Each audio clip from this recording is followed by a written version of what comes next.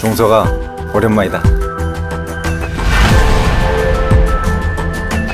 갑자기 만나자고 한 이유가 뭐냐? 철이 얘기를 하고 싶어서 만나자고 했다.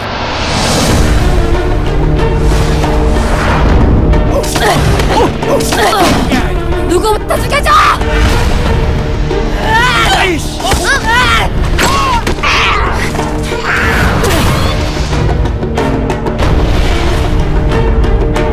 철이 얘기 한바탕 하니까 시원하냐? 아니, 아직 철이 얘기 하지도 않았어. 지금부터가 내가 하고 싶었던 얘기야.